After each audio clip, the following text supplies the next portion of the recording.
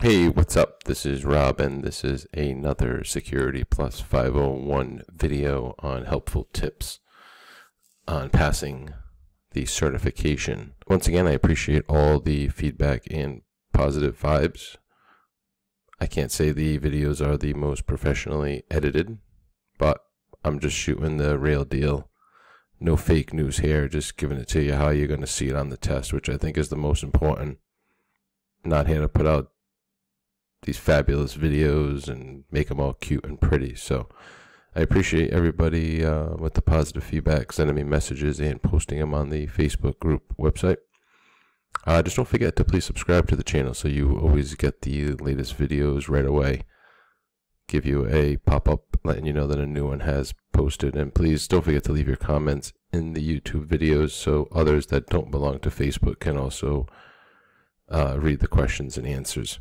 Today I'm going to jump into some more attack seeing. Like again, this is the most one of the most popular parts of the test is being able to differentiate between the types of attacks. Um, I might sound repetitive and I might say this a lot, but you need to find clues that help you remember one from the other because it might be impossible for some people, not all, but some people to memorize the definition of every single term and acronym.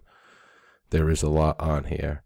So what I try to do is give you um, some clues, tips to help you remember them for when the time the test comes.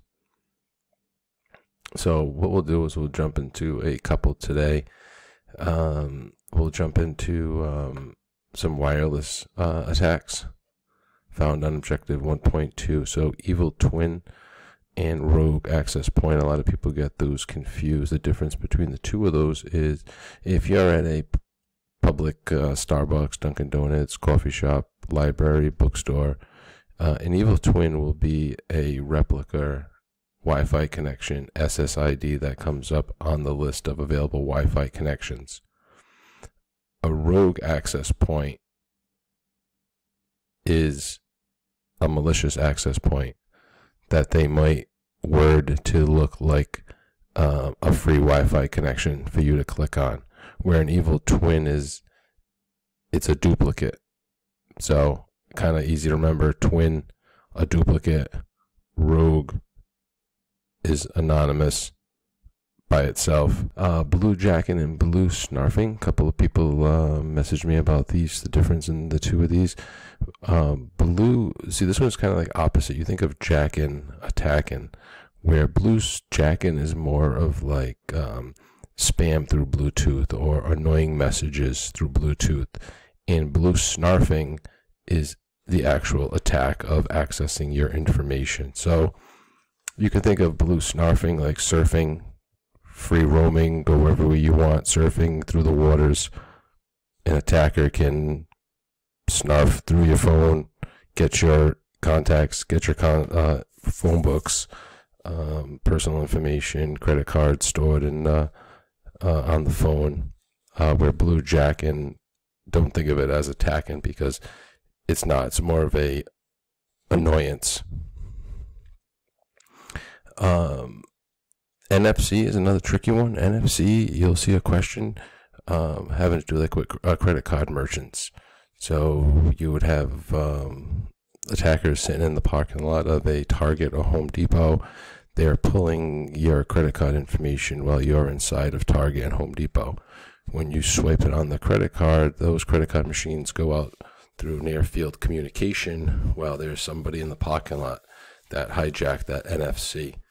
1.4 explain penetration testing concept. I did see about a half a dozen of these questions on the test, and I also got a lot of feedback from others saying they had uh, a hard time differentiating between an active reconnaissance and a passive. Okay, an active is exactly what it says. It is active.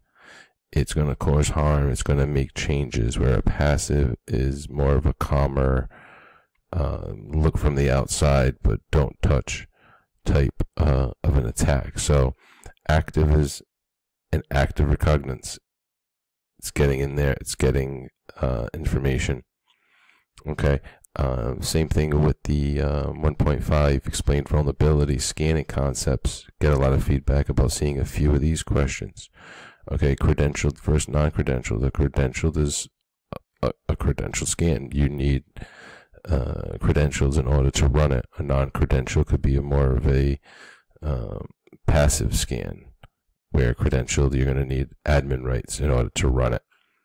Intrusive versus non-intrusive, almost like active and passive. Intrusive is more of on the active side, where non-intrusive is the opposite. It's not intrusive. It's more of a look from the outside type attack. Okay, false positive. Uh, easy way of remembering that is right now with the uh, COVID 19 testings. They're saying a lot of these tests are given false positives. False positive is it's saying that it's a positive of a vulnerability, but it's false. A false negative is bad because it's saying no, there's no coronavirus, no, there is no vulnerability, but yes, there really is. So a false positive is happens a lot. You'll get a false positive scan, which is okay. A false negative is not okay because it's saying that it's negative, not harmful, but it's false. So don't forget to use that word false when differentiating between the two. Thanks for watching these videos on Objective 1, different types of attacks. Stay tuned for the next.